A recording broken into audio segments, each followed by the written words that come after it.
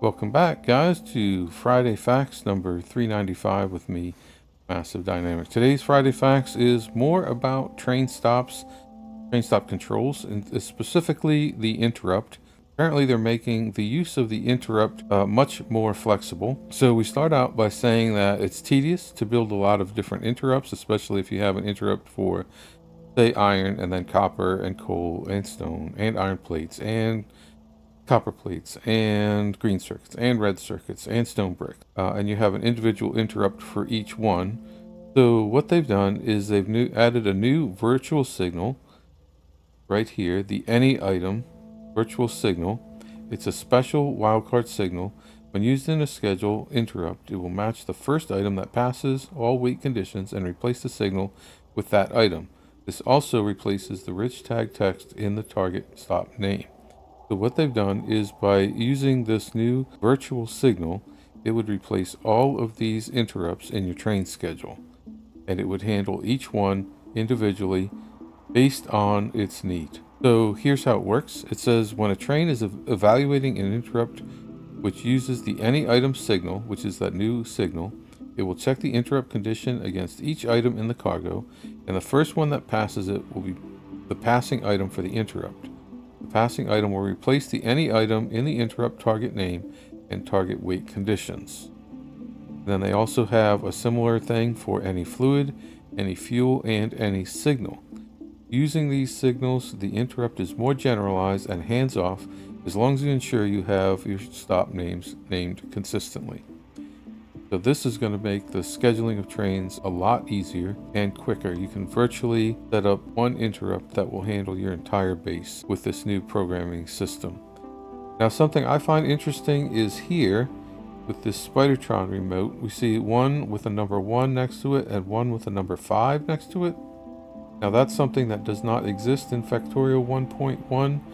If you have a stack of, well first of all, Spidertron remotes do not stack. They only stack to one. And there is no number on a Spidertron remote, so I'm wondering what this means because I don't see any color on them either. But either they've added the ability to stack remotes in your inventory, or there's something else going on there. Not sure what's happening. Okay, so this virtual signal is actually reading the cargo in the train. So suppose you have cargo in the train that doesn't match any of your stops. What will happen? Well, that's what they address here. In 2.0, they've changed. So what they've done is that if you have a train with an item that does not have a stop that matches the name, then they've changed it so that stops will no path for stops that don't exist.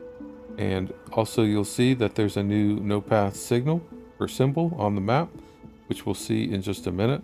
The next question is, does it still skip if I disable a stop with the circuit network?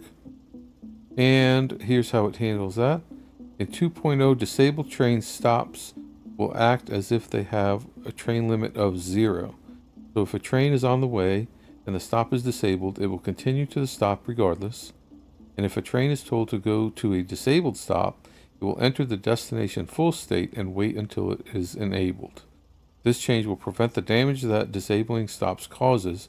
It means you can have a slightly easier time controlling stops with the circuit network. For example, with an artillery outpost, just wire up a chest to read how much ammo is left and only enable the stop if ammo is empty.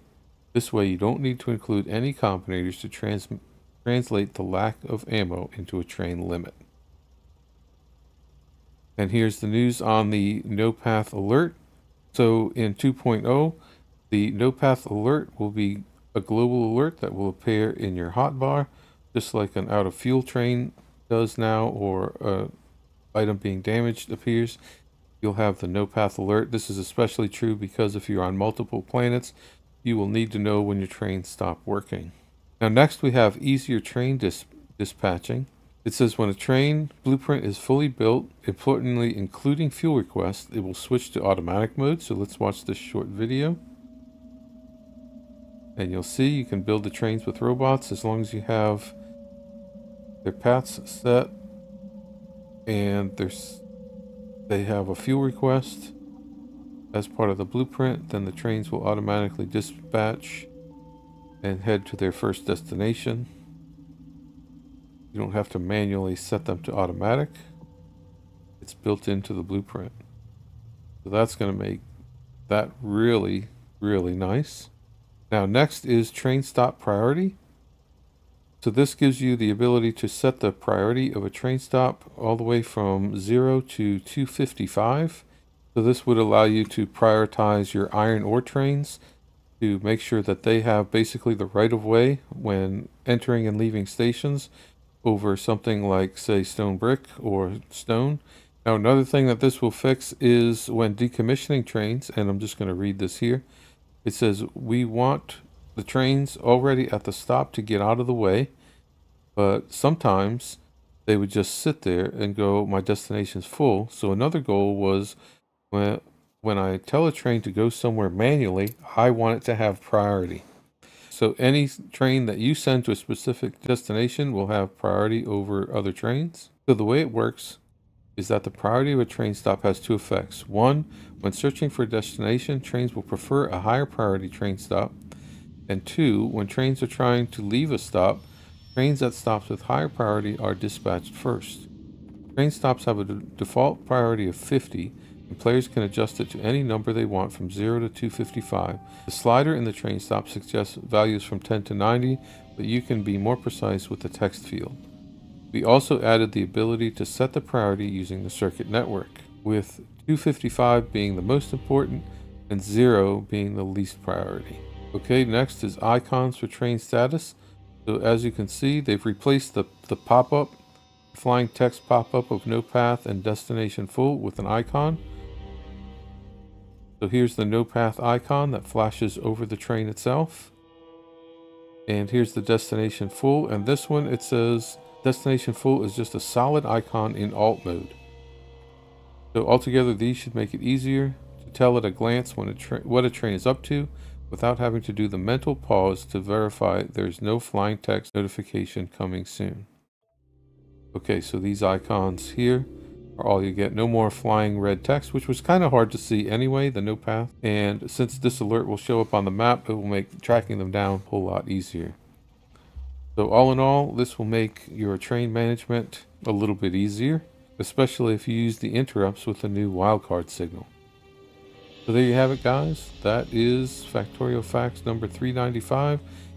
We'll look forward to more news next week. We'll see you then. Thanks for watching. Bye-bye.